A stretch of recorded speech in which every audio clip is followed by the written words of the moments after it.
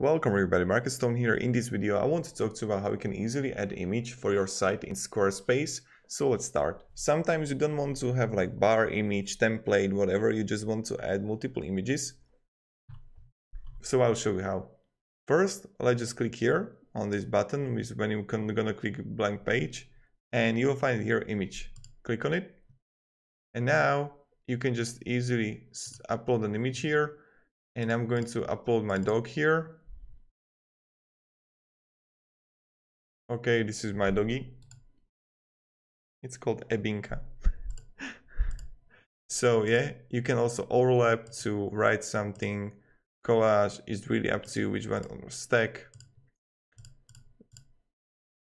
Really, really up to you which one you choose.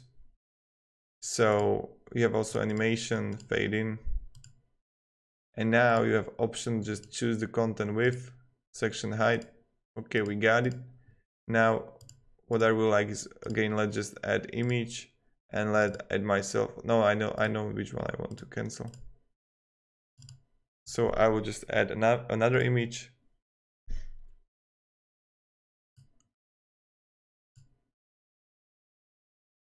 Yeah this is like yin and yang.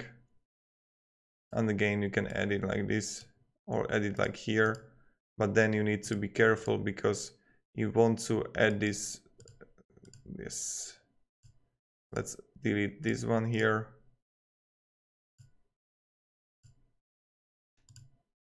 So this is what is like something is happening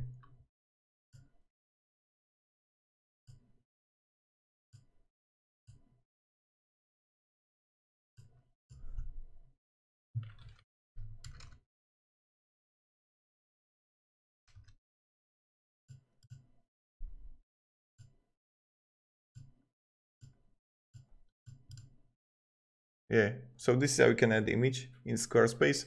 Thank you, have a great day and see you. Goodbye.